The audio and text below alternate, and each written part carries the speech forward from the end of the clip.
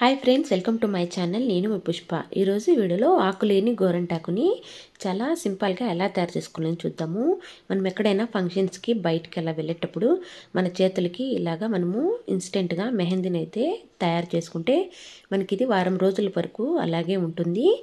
మనము బయట కొనే మెహందీ కన్నా దీన్ని మనము చాలా ఈజీగా అయితే చేసుకోవచ్చు. అలాగే ఎర్రగా కూడా పండుతుంది. ఈ ముందుగా కొత్తగా మా ఛానల్ చూస్తున్నట్టయితే వీడియో ఒక లైక్ ఇచ్చి మా ఛానల్ని సబ్స్క్రైబ్ చేసుకొని చివరి వరకు చూడండి. ఇప్పుడు ఈ గోరింటాకుని ఎలా తయారు చేయాలనేది వీడియోలో చూపిస్తాను. చూసేయండి. ఇప్పుడు చూడండి ఇలాంటిది ఏదైనా ఒక బాక్స్ని అయితే తీసుకోవాలి.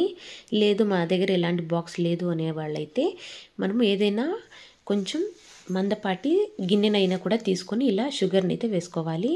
దాని మీద ఒక గ్లాస్ని అయితే పెట్టేసి చూడండి మధ్యలో అయితే గ్లాస్ని పెట్టేసి స్టవ్ మీద పెట్టి స్టవ్ ఆన్ చేసుకుని సిమ్లోనే పెట్టుకొని ఒక ఫిఫ్టీన్ టు ట్వంటీ మినిట్స్ పాటు అలాగే వదిలేయాలి.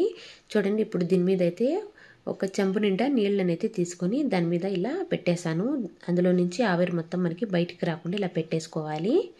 చూడండి మనకి ఫిఫ్టీ మినిట్స్ తర్వాత ఇలా మనకి షుగర్ మొత్తం కొంచెం ఇదిగా అయిపోయి మనకి ఇందులోకి షుగర్ సిరప్ అనేది గ్లాస్లోకి అయితే వచ్చింటుంది. ఇప్పుడు దాన్ని తీసి ఒక పక్కన అయితే పెట్టుకోండి.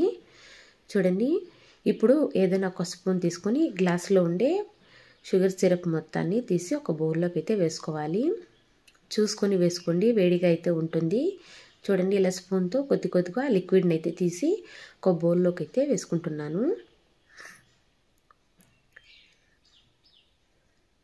చూడండి ఇలా లిక్విడ్ మొత్తాన్ని తీసుకొని వేసుకోవాలి. మనకి ఇంకా కొంచెం ఎక్కువగా కావాలంటే ఇంకొంచెం ఎక్కువ షుగర్ని అయితే వేసుకొని చేసుకోండి. ఇప్పుడు ఏదైనా ఎర్రగా ఉండే కుంకుమని అయితే తీసుకోవాలి. కుంకుమని వేసుకొని చూడండి ఇలా కలుపుకోండి. కుంకుమని చూసి యాడ్ చేసుకోండి. ఇలా ఉండలు లేకుండా బాగా కలుపుకోవాలి. చూడండి ఇప్పుడు ఇంకొంచెం కుంకుమని అయితే యాడ్ చేసుకుంటున్నాను. మీరు కూడా చూసి యాడ్ చేసుకోవాలి. చూడండి ఇలా యాడ్ చేసుకొని మనము ఇంకొకసారి అయితే బాగా కలుపుకుంటున్నాము.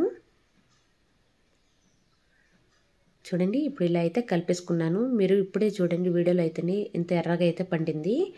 ఇప్పుడు నేను ఒక స్వాబ్ని అయితే తీసుకొని ఇలా మనకి నచ్చిన డిజైన్స్ని అయితే వేసుకోవచ్చు. నేనైతే సింపుల్గా ఇక్కడైతే చందమాయని అయితే వేసుకుంటున్నాను. మీరు నచ్చిన డిజైన్ అయితే వేసుకోండి. చూడండి ఇలా అయితే వేసేసుకుంటున్నాను. మనకి చాలా ఎర్రగా అయితే పండుతుందండి గోరంటాకు. చూసారు కదా ఇప్పుడు రెండు చేతులకు కూడా పెట్టుకున్నాను.